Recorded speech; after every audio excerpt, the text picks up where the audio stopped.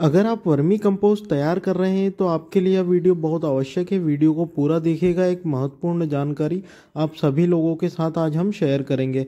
आज की इस वीडियो में हम बात करेंगे वर्मी कंपोस्ट को किस प्रकार से आहार दिया जाता है कौन कौन से आहार हम वर्मी कंपोस्ट को दे सकते हैं, जिससे कि हमारा वर्मी कंपोस्ट बहुत जल्दी तैयार हो। यहाँ पर हम केचो को अभी तक मैंने दो प्रकार के आहार दिए। एक तो मैंने आपको पहले ही वीडियो के माध्यम से बता दिया है कि अभी तक मैंने सरसों की जो खली आती है उसको शाम को गला के, सुबह उसका इस प्रकार से छिड़काव करता हूँ। तो यहाँ पे आज हम दे रहे हैं छाछ।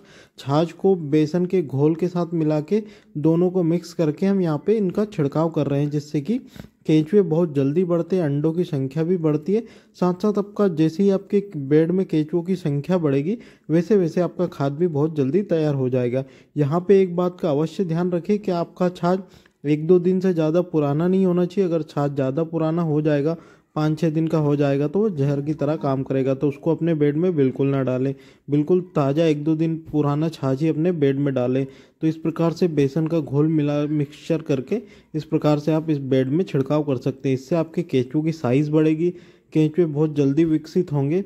साथ साथ यहाँ पे उसमें प्रोसेस में भी बहुत जल्दी सुधार आएगा। तो यहाँ पे दो आहार अभी तक मैंने दिए हैं, एक तो सरसों की खली के बारे में आपको बताया था और यहाँ पे यह बेसन और छाछ का घोल हम यहाँ पे दे रहे हैं। अगर आपको ऐसी ही वीडियो और भी जानना है रोचक तो हमारे चैनल को सब्सक्राइब कीजिएगा।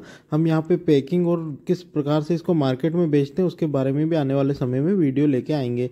अगर आपको और भी जानकारी चाहिए तो दिए गए नंबर पर संपर्क